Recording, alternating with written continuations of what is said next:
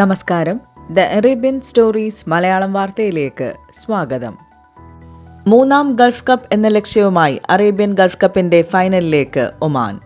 ഇറാഖിലെ Basra അൽമിന Olympic സ്റ്റേഡിയത്തിൽ നടന്ന രണ്ടാം സെമി ഫൈനൽ മത്സരത്തിൽ നിലവിലെ ചാമ്പ്യന്മാരായ ബഹ്റിനെ ഏകപക്ഷീയമായ ഒരു ഗോളിന് തകർത്താണ് ഒമാൻ ഫൈനലിൽ പ്രവേശിച്ചത്.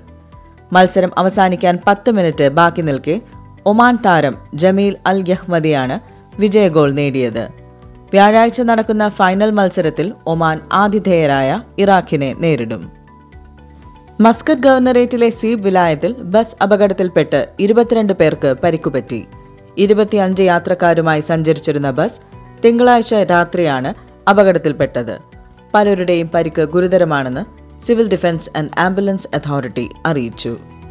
ലോകത്തിലെ ഏറ്റവും സുരക്ഷിതമായ രാജ്യങ്ങളുടെ പട്ടികയിൽ ഒമാന് അഞ്ചാം സ്ഥാനം. ഒമാനിലെ കുറ്റകൃത്യങ്ങളുടെ നിരക്ക് പത്തൊൻപത് പോയിന്റ് ഏഴ് ശതമാനമാണ്. Qatar United Arab Emirates Taiwan Isle of Man എന്നീ രാജ്യങ്ങൾ സുരക്ഷിത രാജ്യങ്ങളുടെ പട്ടികയിൽ ആദ്യ നാല് സ്ഥാനങ്ങൾ കൈവരിച്ചു. വെനസുല പപ്പുവ ന്യൂഗിനി അഫ്ഗാനിസ്ഥാൻ ദക്ഷിണാഫ്രിക്ക എന്നീ രാജ്യങ്ങളിലാണ് ഏറ്റവും കൂടുതൽ കുറ്റകൃത്യങ്ങളുടെ നിരക്ക് രേഖപ്പെടുത്തിയിരിക്കുന്നത്. കൂടുതൽ വാർത്തകൾക്കും സമകാലിക വിവരങ്ങൾക്കും the Arabian Stories dot com സന്ദർശിക്കൂ.